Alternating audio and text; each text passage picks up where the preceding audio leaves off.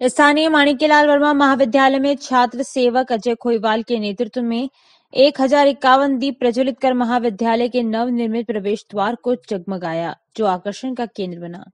छात्र सेवक अजय खोईवाल ने बताया कि दीपावली के शुभ अवसर पर जिस प्रकार आमजन द्वारा अपने घरों में दिवाली पूजन कर एवं दीप प्रज्वलित कर दीपावली मनाई जाती है, उसी प्रकार छात्रों ने अपने विद्या के मंदिर महाविद्यालय के नवनिर्मित प्रवेश द्वार पर एक हज़ार इक्यावन दीप प्रज्वलित कर दीपावली पर्व मनाया।